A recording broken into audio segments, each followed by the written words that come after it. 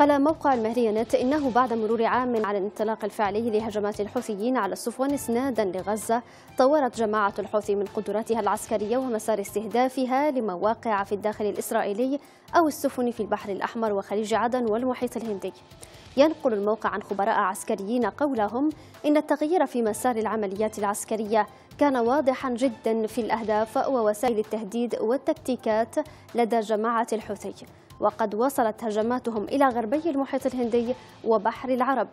المحللون أوضحوا أن وسائل تهديد الجماعة تطورت إلى الغواصات الصغيرة والزوارق غير المأهولة واتخذت هجماتها طابعا مرحليا كل مرحلة مختلفة, مختلفة عن الأخرى.